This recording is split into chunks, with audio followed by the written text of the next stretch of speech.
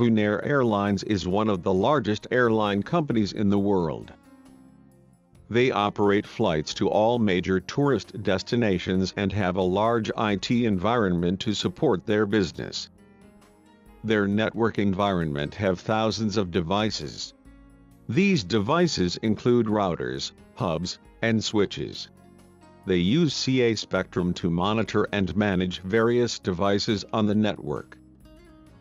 The network operators and administrators of Vunair Airlines need to keep a track of all these devices and take actions when alarms are raised.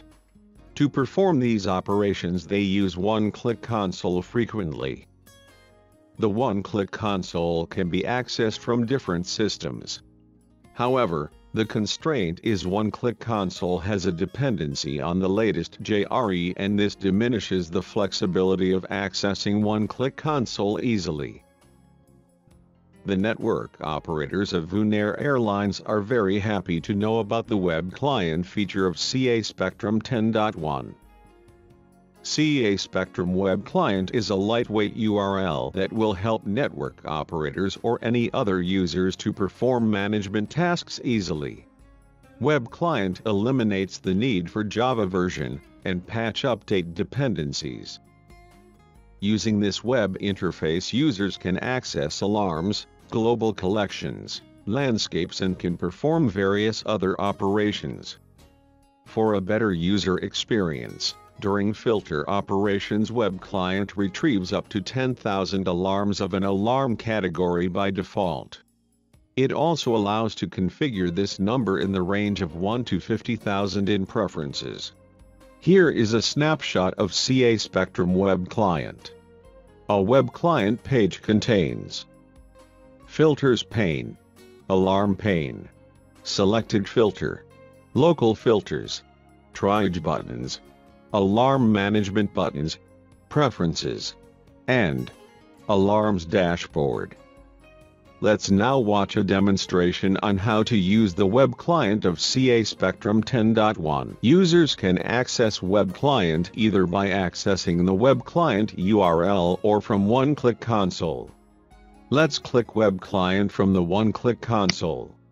Observe the web client is launched.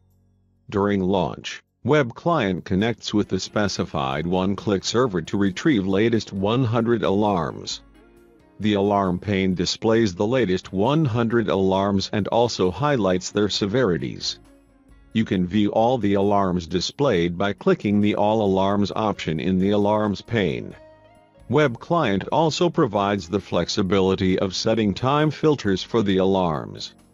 For example, if time filters is set as 1 hour, the alarms raised in last one hour will be displayed. Sometimes network operators create logical grouping of devices that they monitor. This is named as global collections in one click. Web client allows to view alarms from the global collections of the one-click console. Observe in this scenario, three global collections of the one-click console are displayed. Selection of these display the alarms raised on those devices of the Global Collections. Global Collections hierarchy of the one-click console can also be viewed through Web Client. Let's move to Landscapes. Landscapes are used for performance scalability and like one-click console, you can view the alarms of the selected landscapes. Often, customized alarm filters are created on one-click console. All those alarms filters are displayed in Web Client under the Alarm Filters category. Let's select the High CPU filter. Note the alarms that have high CPU utilization are displayed. Web Client also allows you to sort the alarms based on their severity, date time, name and so on. You can also view more details in the alarm details and in the alarm impact view. The topology view shows the alarm and the associated devices. Navigate to the triage buttons. The triage buttons has ping, poll, and trace route buttons. Now, let's see how to send an ICMP ping to various devices. Select the device that you wish to ping and click the ping button. Observe the ping results sent via the web client. Similarly, you can perform polling. Select the device you wish to poll and then click the poll button. Observe the polling results. In the same way you can view the trace route results by clicking the trace route button. Observe the trace route results. You can also acknowledge and unacknowledge the alarms.